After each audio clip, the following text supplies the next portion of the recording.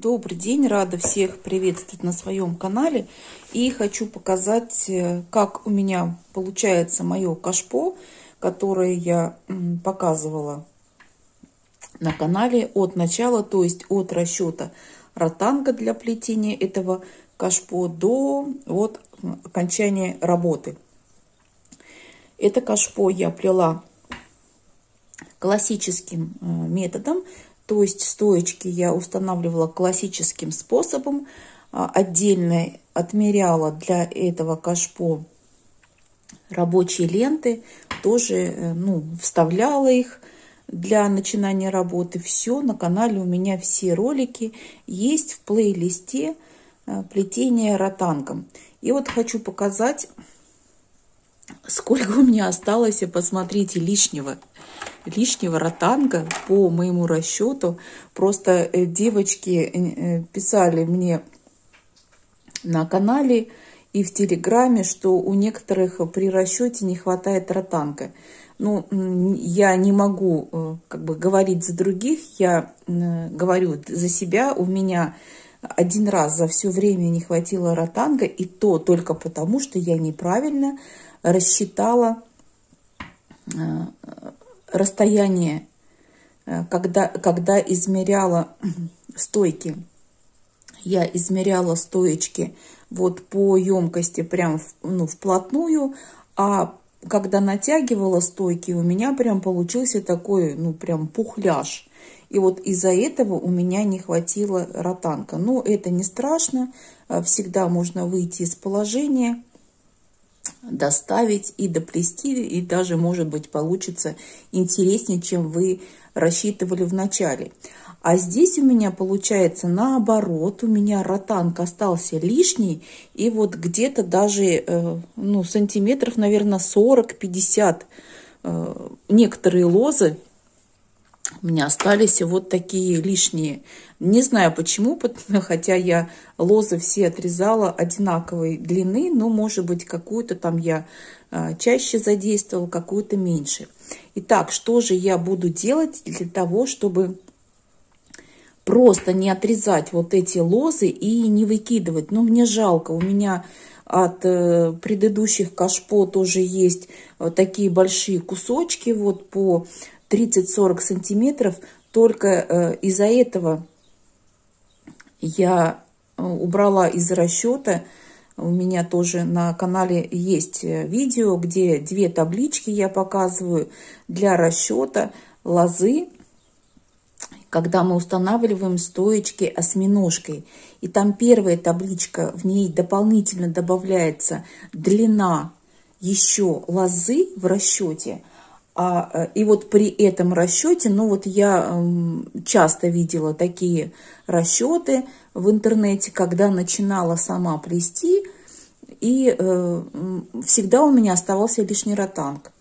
И я убрала из расчета дополнительную длину лозы. Это вот э, в том видео у меня вторая табличка. Ссылочку я оставлю в описании. Кому интересно, можете зайти посмотреть. Э, и в том случае мне, э, если правильно измеряешь, э, ну как бы расстояние да, для расчета, мне лозы всегда хватало. Ну, пример вот мое последнее видео, где я плела э, кашпо лесенкой там или елочкой у меня прям идеально там хватило ротанга, я считала вот по второй своей таблице. Но вернемся, как говорится, это небольшое отступление, вернемся к кашпо, э, в котором у меня осталась вот такая длинная лоза, что я с ней э, придумала сделать. Я придумала э, сделать такой необычный узор для того, чтобы не отрезать эту лозу не выбрасывать, а использовать ее и э, немножко видоизменить мое кашпо. И сейчас я вам покажу, что же у меня получилось. Вот посмотрите. Вот, ой, сейчас здесь у меня, вот у меня еще такие хвостики остались. Ну вот поближе покажу. Вот посмотрите, какая красотень э, у меня получилась. Не знаю, я не профессионал, э, поэтому я плету в свое удовольствие. И, э, как мне написала одна профессиональная плетунья, что если вы э, пишите, ну, говорите, что это нравится вам, значит, вы не должны снимать видео. Ну, вы знаете мое мнение, что каждая работа, если вы не занимаетесь этим, ну, не зарабатываете себе на жизнь, э, она должна вам нравиться. В первую очередь должно комфортно быть вам, и вы делаете это для себя, а не для других. Вот и я плету для себя. Конечно, э, ну, люди, которые у меня потом кашпо э, покупают, э, ну, это им тоже нравится, но в первую очередь я плету для себя и показываю свою работу, не проводя мастер-классы, э, просто делюсь э, с окружающими тем, ну, что сама умею, как э, можно выразиться, плохо или хорошо. Ну, э, кому-то нравится, кто-то плетет вместе со мной. Мы все вместе учимся, обсуждаем, поэтому думаю, что это неплохо. Итак, опять возвращаемся к кашпо. А, вот такие я сделала двойные стоечки. Вот у меня, посмотрите, сейчас вот кусочек остался еще. Э, изначально было вот такое кашпо, ну, обычное, стандартное, да, кашпо с одной стойкой. Здесь я сделала две косички. Внизу вот у меня э, был узор один через два, потом коса малая, потом узор один через один и косу я сделала большую. И вот я придумала сделать вот из этих остатков вот такие двойные стоечки. У меня хватило даже поставить стоечки на всю длину, смотрите, и еще вот остались хвостики, которые можно будет ну, обрезать и вправить. Э, как я э, плела вот эти двойные стоечки. Вот сейчас вам покажу внутри. Смотрите, внутри тоже, ну, все так красиво, прилично. Получается вот такая косичка э, наподобие той, которую вот мы закрываем плетение. Вот получается мы как бы закрыли плетение и потом дальше я вывожу лозу на наружную сторону ведра. Ну вот сейчас, если э, получится, я вам покажу немножко поближе. Просто неудобно и снимать, и показывать. Но если будет не совсем видно, пожалуйста, не серчайте на меня. Так, вот у меня лоза выходит я ее, вот она, лоза у меня вышла из-под стойки, я ее завожу под стоечку, так же, как я плела кашпо э, лесенкой там или елочкой, мы начинаем э, заводить по диагонали, вот под соседнюю стоечку. Вот я сюда ее вывела. И теперь вот так, посмотрите, вот я ее буду сейчас заводить. Вот э, под эти все рабочие ленты. И у меня получится двойная лоза. Вот сейчас я заведу вот сюда, под эту ленту, заведу под эту ленту, заведу сюда, и у меня будет двойная лоза здесь. Сразу э, хочу предупредить, э, не совсем это легко делать. Это немножко э, трудновато, проблематично, потому что ну, здесь у нас уже и так вот все натянуто много, как бы, да, вот лос, много пересечения. Я пользовалась лопаткой. Но вдруг, если у вас лопатки нет, можно пользоваться там любыми подручными средствами. Я показывала, находила там такую небольшую вилочку, пользовалась ей. Но э, при желании это можно сделать, и все у нас получится. Сейчас покажу, как я буду здесь вот как э, выводить наискосочек у меня уже есть э, ролик а как заводить вторую лозу, сейчас покажу вам. Так, смотрите, вот у меня лоза вышла наискосок. Теперь мне нужно протянуть ее через вот эту стоечку. Ну, желательно, чтобы лоза хорошо проходила, сделать вот такой срез на уголок. Сейчас я вот, ну, даже обычными ножницами можно. В этом случае, так, сейчас мы, так вот, ну такой в этом случае он будет лучше заходить. Итак, вот у меня лоза выходит из-под рабочей ленты, и я должна завести ее опять под рабочую ленту. Вот под первую, и сразу можно завести ее под вторую. Как идет у нас стоечка. Так, ну вот. Вот так, наверное, да, будет видно. Вот я сейчас... Так, вот, смотрите, раз, два, все, завела лозу. Самое главное, следите, чтобы лоза ложилась лицевой стороной, не загибалась. Тогда будет ровно и красиво. Так, вот, смотрите, вот она у меня вышла, лоза, вот.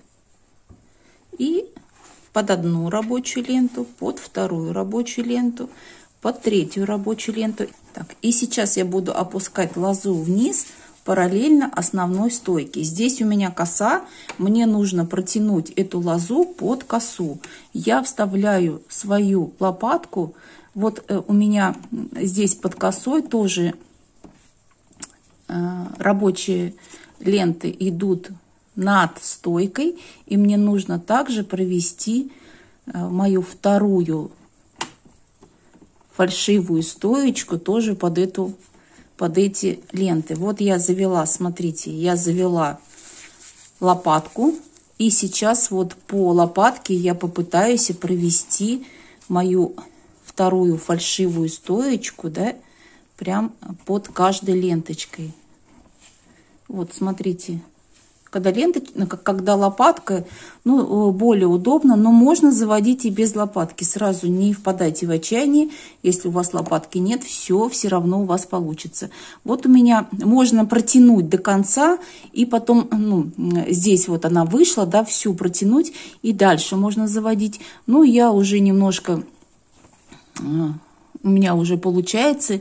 И я сейчас сразу хочу и под э, вторую косичку тоже сразу завести. Вот я вывела лопаточку наискосок. И, ну давайте, вот так, да? Вот я вытягиваю. А так, в принципе, я некоторые лозы проводила прям сверху до низу сразу одновременно. Вот, посмотрите, у меня получилась вот вторая. У меня двойная стоечка. Так, теперь вот я опять завела лопатку и сейчас буду проводить вот сюда вниз. Дальше, вот смотрите, у меня идет, вот она. Так, и теперь мне нужно вот здесь завести, вот внизу.